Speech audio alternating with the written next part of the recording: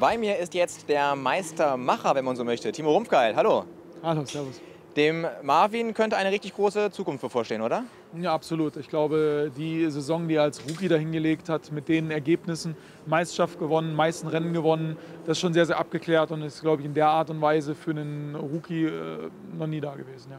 Also als Neueinsteiger unterwegs gewesen, Titel geholt, auch für Sie die Teamwertung gewonnen, nicht nur alleine, aber mit den anderen natürlich. Was ist für Sie als Teamchef eigentlich wichtiger, Einzeltitel oder Mannschaftstitel?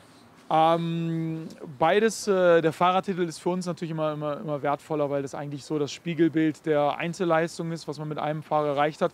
Die Teamwertung ist natürlich gut, weil die haben jetzt das zweite Jahr gewonnen. Ähm, wir haben den Luxus, dass alle unsere Fahrer äh, Rennen gewinnen und auf, mindestens auf dem Podium stehen. Und ich glaube, da tun wir uns in anderen Teams deutlich hervor. Und das sieht man dann natürlich Ende des Jahres in unserer Teamwertung. Kommen wir zum ATS Formel 3 Cup. Da gibt es keine Teamwertung, aber auch da führt einer ihrer Piloten. Der kann jetzt gleich im ersten Rennen Meister werden, beziehungsweise er ist jetzt doch schon Meister geworden, und zwar nach dem Qualifying. Wie kam es dazu? Ähm, für die Pole Position gibt es drei Punkte. Er hat beide Poles geholt, sechs Punkte. Sind hier angereist mit 72 Punkten Rückstand, 75 gab es. Äh, haben wir sechs von geholt, also damit sind wir durch und äh, hat er verdient den Titel geholt. Und dann hätte jetzt theoretisch schon mal gefeiert werden können. Wurde gefeiert, sehen wir dann gleich in Lauf 1 schwedische Schlangenlinien? nein, nein, ich glaube, äh, die Schweden sind trinkfest, das ist Nummer 1, ja. Und äh, natürlich konzentriert er sich auf seinen Job. Alles klar, vielen Dank. Gerne. Ja, dann schauen wir mal rein, äh, wie jetzt die letzten drei Rennen der Saison ausgegangen sind und ob es Schlangenlinien gab oder auch nicht. Keine Schlangenlinien, sondern Donuts. So feiern sie die Schweden. Jimmy Eriksson ist also der Meister der Saison 2012. Da ist die Freude beim jungen Skandinavier natürlich groß. Denn als Formel-3-Meister tritt Eriksson in die Fußstapfen von Rennfahrern wie Nick Heidfeld, Bernd Schneider oder Michael Schumacher. Ein nicht alltägliches Gefühl, bevor überhaupt ein Rennkilometer gefahren ist. Ein bisschen komisch, aber andererseits kann ich jetzt die drei Rennen ganz ohne Druck fahren, einfach Spaß haben. Und wie es sich für einen frisch gebackenen Meister gehört, startet Eriksson von der Pole ins erste von drei Rennen des Wochenendes. Sein Start, wie gewohnt sehr gut. Schon vor der ersten Kurve liegt der Lotus-Pilot ganz klar in Führung.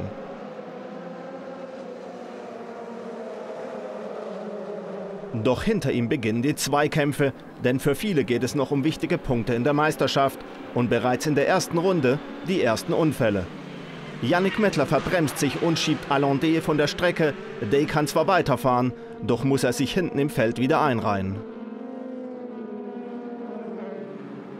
Der Abstand zu seinen Verfolgern nach der ersten Runde zeigt die Klasse vom neuen Meister. Der setzt sich sofort vom Feld ab. Und dass hier noch lange nicht alles gelaufen ist, zeigt auch dieser Zweikampf zwischen Artem Markelov im schwarz-goldenen Boliden und seinem Verfolger Mitchell Gilbert. Der Australier versucht aus dem Windschatten zu überholen, der Russe kontert. Ein verlustreicher Angriff, denn Gilbert beschädigt sich bei dieser Aktion die Frontpartie. Ich habe Markelov ziemlich hart getroffen und mir dabei die Nase beschädigt. Das hat mich natürlich langsamer gemacht, aber ich hatte Glück, dass ich keinen größeren Schaden hatte.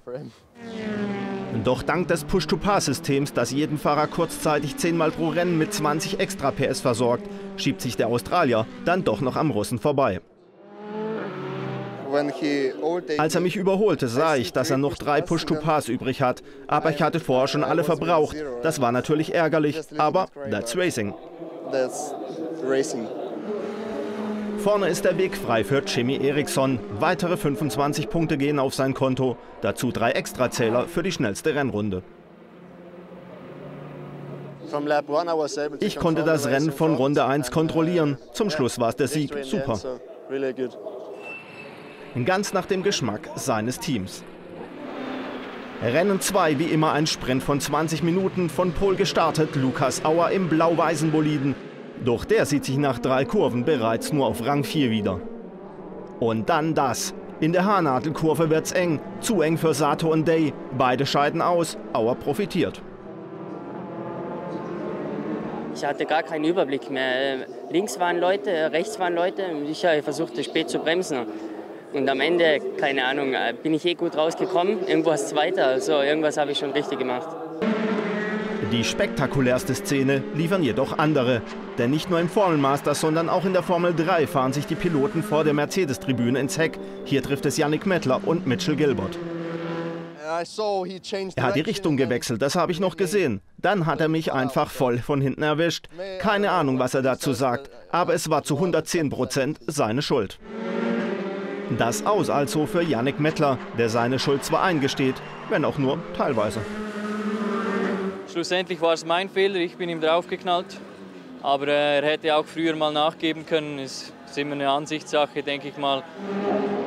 Keine Ansichtssache, der Sieg und die 10 Punkte des Russen Markelov. Platz 1 vor Auer und Meister Eriksson. Markelov zeigt sich nach Saisonsieg Nummer 2 von seiner ganz speziellen, fast schon spirituellen Seite. Schon nach der dritten Kurve lag ich vorne und da leuchtete in mir ein Licht auf und von da an spürte ich eine Art Rückenwind, der mich über die gesamte Strecke bis ins Ziel trug.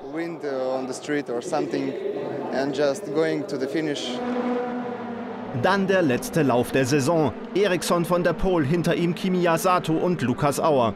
Und diese dritte Position reicht dem Österreicher Auer, um die Rookie-Wertung für sich zu entscheiden. Kein Grund also, waghalsige Überholmanöver zu starten